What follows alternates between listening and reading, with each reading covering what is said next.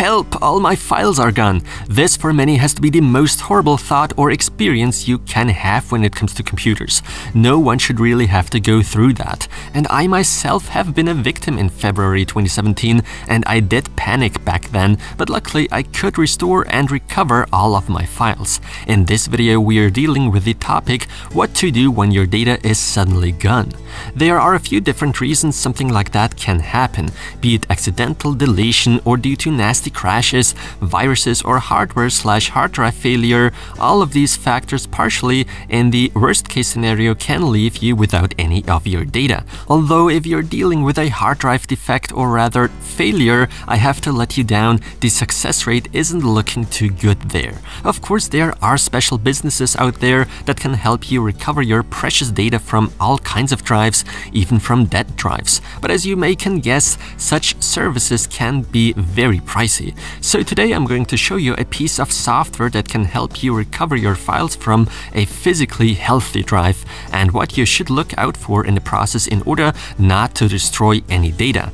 There are a bunch of data recovery tools out there and a well-known developer is EaseUS. Today I'm in fact testing out the product named Data Recovery Wizard by EaseUS. And I'd also like to let you know that this video is sponsored by EaseUS. For this video I receive a bit of money because you gotta know, many of my hardware reviews, those products I pay out of my own pocket. Nonetheless, I fully stand behind the software, but I of course like to remain honest with you guys, which is why I always inform you when I'm getting paid for what content.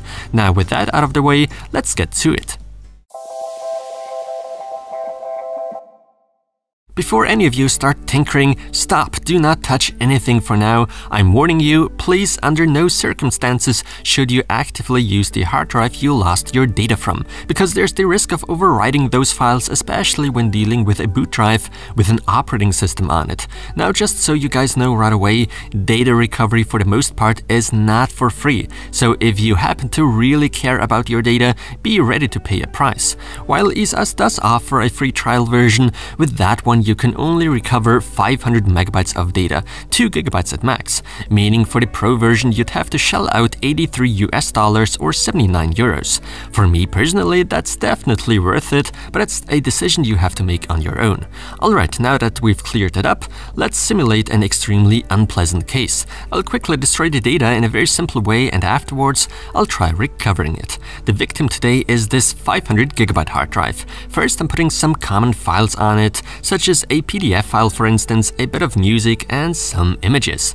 If I wanted to make the recovery super easy, I'd simply delete those files and empty the recycle bin, but nope, I'm going to the disk management and brutally delete the whole partition. Should your files be on drive C though, so where Windows is on, you should not write any data onto that drive, meaning no installations and minimal usage in general. A second hard drive or an external solution would be recommended. Quite often I've heard about about Windows Update overriding lost files, which is why I'd advise you to navigate to the Windows services and temporarily disable Windows Update. I mean, it's not a must, just my recommendation, only if the drive C is affected by data loss however. So now let's download Data Recovery Wizard. Again, do not save the file onto the affected hard drive.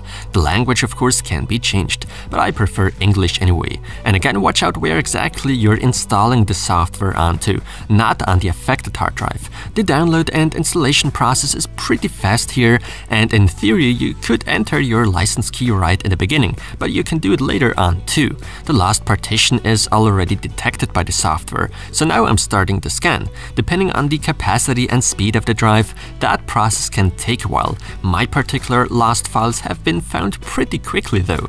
Now I'd recommend waiting for the scan to fully complete, and if you want to start recovering, do not stop the scan. We do have the option to recover found files during the scan. And if, let's say, you stop the scan, those found files could in some cases only be recoverable in many clusters without any directories and whatnot, leaving those files damaged, corrupted, and ultimately not readable. There's a whole lot found. In fact, I do notice lots of files and folders from older previous partitions. Extremely useful in my opinion is the search feature and the filter. You can filter out the most recent files for instance, and these in fact are my files I've copied over to this hard drive and quote, destroyed, end quote, earlier before. There's even a preview available for the different files. That's impressive, well done. So now I'd like to begin with the recovery of those selected files. As said before, it is recommended to wait for the whole scan to complete, but with smaller files, a recovery could work this early into the scan.